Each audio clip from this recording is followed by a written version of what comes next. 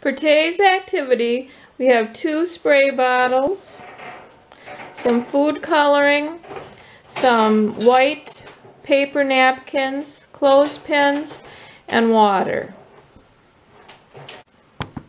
You can have your toddler help you pour some water into the bottles.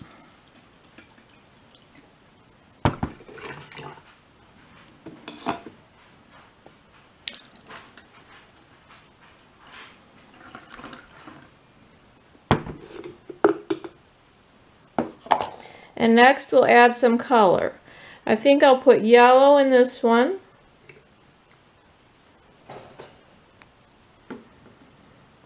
And I got some red for this one.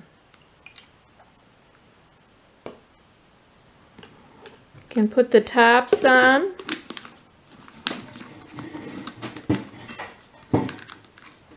Shake them up.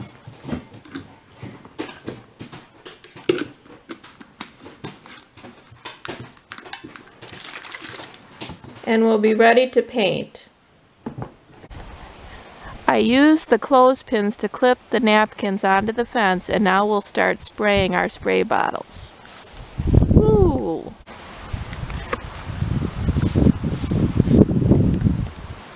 We'll mix our colors together, see what happens.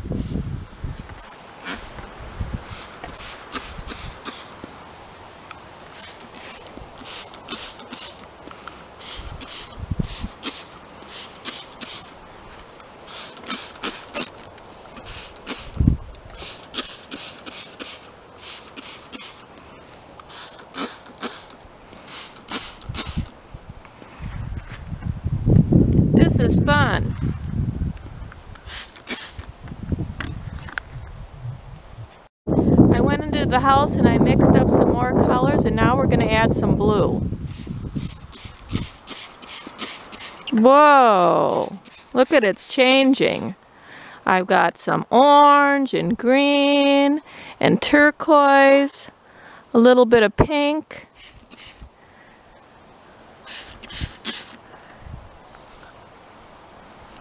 That's beautiful. Can you see the colors?